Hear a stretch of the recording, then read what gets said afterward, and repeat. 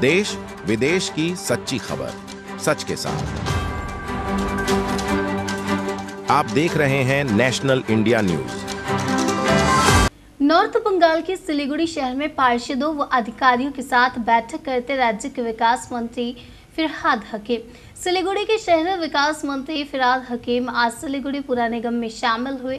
इस दिन उन्होंने सिलीगुड़ी पुर निगम के विभिन्न वार्डों के पार्षदों और अधिकारियों के साथ बैठक की। मंत्री ने कहा कि मुख्यमंत्री ममता बनर्जी के नेतृत्व में सिलीगुड़ी में काफ़ी काम हुआ है। सिलीगुड़ी में पूरे निगम की ओर यथासंभव मदद की जाएगी। उक्त बैठक में सिलीगुड़ी शहर के विभिन्न विकासात्मक मुद्दों पर चर्चा की गई। सिलीगुड़ी नगर निगम के नगर आयुक्त ने मंत्री से कहा कि विभिन्न कार्यों के लिए पैसे की ज़रूरत है।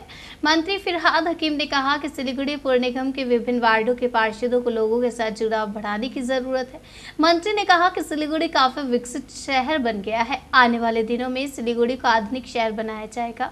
उक्त बैठक में mayor Gautam Deb, deputy mayor Ranjan Sarkar, Siliguri पुर निगम के पार्षद व अधिकारी उपस्थित थे। इससे पहले विकास मंत्री फिरहाद हकीम ने सिलीगुड़ी जलपाईगुड़ी डेवलपमेंट अथॉरिटी के चेयरमैन सौरभ चक्रवर्ती से विकास के बारे में बातचीत की और साथ थी दार्जिलिंग जिला के सभा नेत्री पापिया घोष এটা অমৃত টু পয়েন্ট জিরো করতে গেলে স্যার শুধু দশ হাজার হাউসহোল্ডের কানেকশন গুলো রেডি করে রাখা আছে স্যার ডিপিআর এর অ্যাকচুয়ালি সেভেন্টি ফাইভ থাউজেন্ড হাউসহোল্ডে ঢুকানো হয়নি তো এটা করার জন্য আমাদের ইউডিএমএ কে চিঠি করা হয়ে গেছে স্যার যদি এটা ডিপিআর হয়ে যায় তো ভালো হবে স্যার আমরো টু তো হয়ে গেছে আপনার এই প্রজেক্টটা রেডি দলটা তো আছে শুধু আপনাকে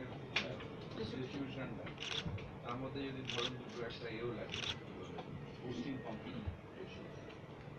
নিয়ে একটা নতুন করে ডিপিআর করে এটা আমরা ঠিক